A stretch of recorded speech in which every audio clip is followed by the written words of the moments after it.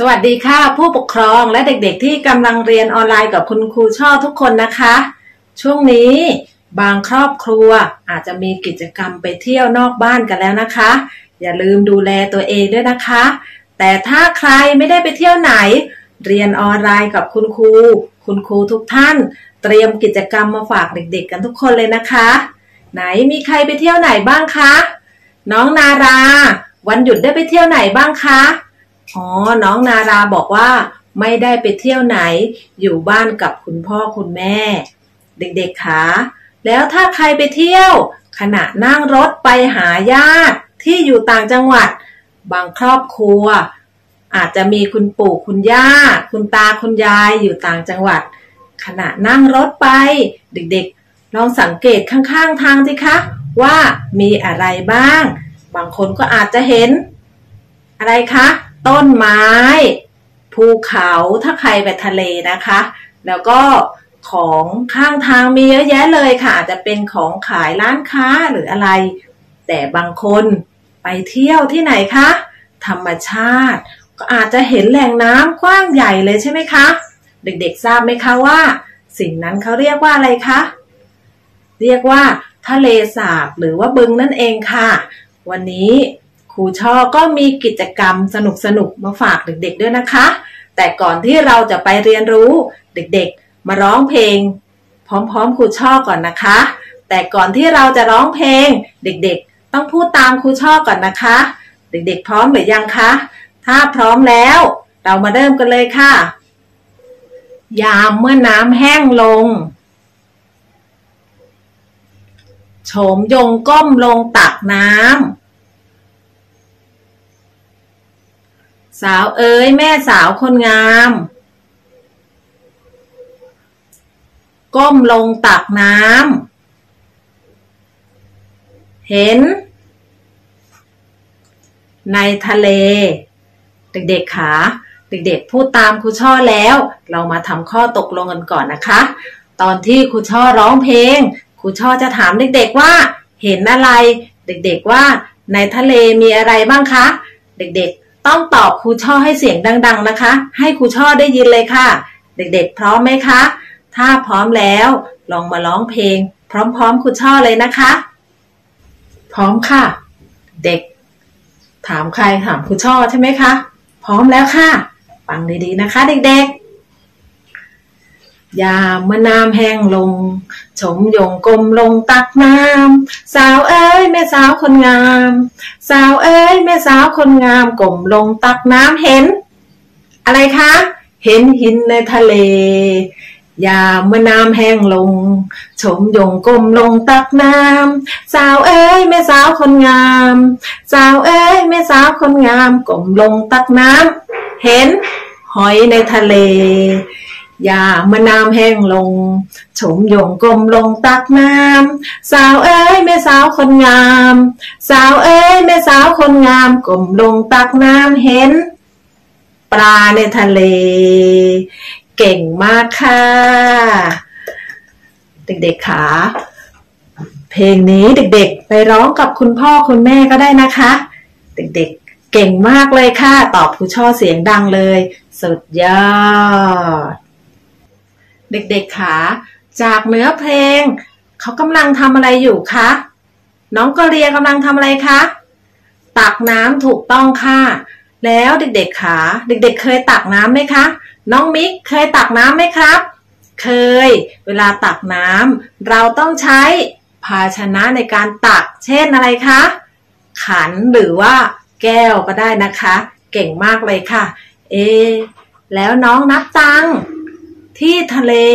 มีอะไรบ้างคะ มีอะไรครับ ใช่ มีหิน มีอะไรอีกลูก มีหอย มีอะไรคะน้องแคร์มีปลา มีอะไรอีกนะน้องฟอสอ๋อ มีต้นไม้ มีพืชอยู่ในน้ำ แล้วก็มีอะไรคะ มีน้ำเยอะเต็มไปหมดเลย เด็กๆคะ เดี๋ยววันนี้ครูชอบจะพาเด็กๆมาสร้างตู้ปลานะคะ โดยทำจากขวดโหลหรืออุปกรณ์ที่ครูชอบมีนะคะ เด็กๆมาดูนะคะว่า ครูชอบจะทำอย่างไร เด็กๆ ถ้าพร้อมแล้ว มาดูกันเลยค่ะ อุปกรณ์ของครูชอบก็มี ก้อนหินค่ะเด็กๆ น้ำและขวดโหลค่ะ นี่เลยค่ะเด็กๆ ครูชอบก็นำขวดโหลมาวาง ล้างให้สะอาดก่อนนะคะ แล้วก็อะไรคะเด็กๆ หยิบก้อนหินมาใส่ นี่คือวัสดุที่เราหาได้จากในบ้านนะคะ ก้อนหินที่บ้านเด็ก ๆ ก็บางบ้านก็อาจจะมีอยู่แล้ว ก่อนที่ครูชอบจะนำมาครูชอบก็นำไปล้างให้สะอาด เด็กๆก็ หยิบก้อนหินใส่ลงไปในขวดโหลเลยนะคะ เพื่อจะได้เป็นตู้ปลาของเรา ก้อนหินก็จะมีหลายแบบหลายสีหลายขนาดแล้วแต่ชอบเลยค่ะ แล้วก็นำไปใส่จัดวางให้สวยงามตามใจชอบเลยนะคะค่อยๆใส่ไปค่ะเห็นไหมคะก้อนหินก้อนนี้สวยมากเลยค่ะเด็กๆ จะแบนๆนี่ค่อยๆใส่ลงไปค่ะวาง ชอบก้อนหินเยอะๆ เป็นชั้นๆ เด็กๆ ก็ใส่ไปได้เยอะๆ เลยค่ะ นี่นะคะสีสันสวยงามมันก็จะมีหลากสี เพราะว่าเปลือกโหลเนี่ยมันใสนะคะ เด็กๆ เราก็จะเห็นง่าย สวยงามใส่ไปเยอะๆ เลยค่ะค่อยวางไปบางคนก็จะอาจจัดเป็นชั้นเป็นสีนะคะนี่วางไป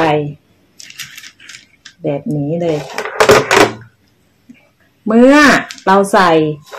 ก้อนหินไปแล้ว สวยงามแล้วเป็นที่พอใจแล้ว เด็กๆก็อาจจะหาพืชที่อยู่ในน้ำเช่นวันนี้ครูชอบได้นำนี่เลยค่ะเด็ก ๆ รู้จักไหมคะ เคยเห็นไหมคะ ที่อยู่ในน้ำลำคลองนะคะ นี่เลยเขาเรียกว่าจอกค่ะเด็กๆจอกอาศัยอยู่ในน้ำสีสันสวยงามมากเลยค่ะ เดี๋ยวค่อยใส่นะคะ เอาพืชอย่างอื่นใส่ไปก่อนค่ะ เช่นต้นหญ้าเนี่ยวางไว้เลยนี่วางไว้เลยค่ะเด็กๆ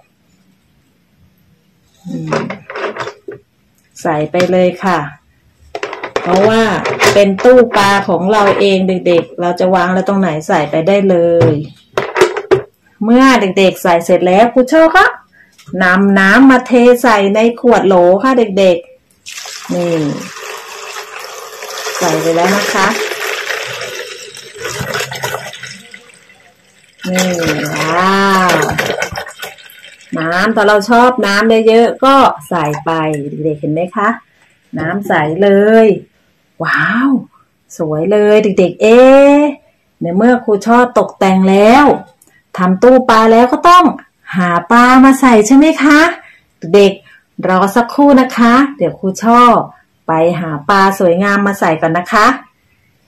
เด็กๆคะมาแล้วค่ะ ปลาของครูช่อ เด็กๆดูดีๆนะคะ ว่าปลาของครูช่อจะเป็นปลาลายว่ายไปแล้วนี่เลยค่ะ เด็กๆเห็นไหมคะนี่ไปแอบไปแอบนี่ เห็นไหมคะ ว้าว นี่เลยค่ะ นี่ แล้วครูช่อก็จะนำพืชที่อยู่ในน้ำได้นะคะ เช่นจอกอย่างที่ครูชอบอกไปสักครู่นะคะ แล้วก็อะไรคะ นี่เลยภูด่างค่ะเด็กๆนี่ภูด่างนี่ก็สามารถอยู่ในน้ำเป็นตู้ปลาได้นะคะ เนี่ยตู้ปลาเป็นโหลปลานะคะ เด็ก นี่เลยค่ะ ว้าว ลูกครูช่อมีที่อยู่แล้ว นี่เห็นไหมคะ นี่เห็นเขาไหม ว้าว นี่ นี่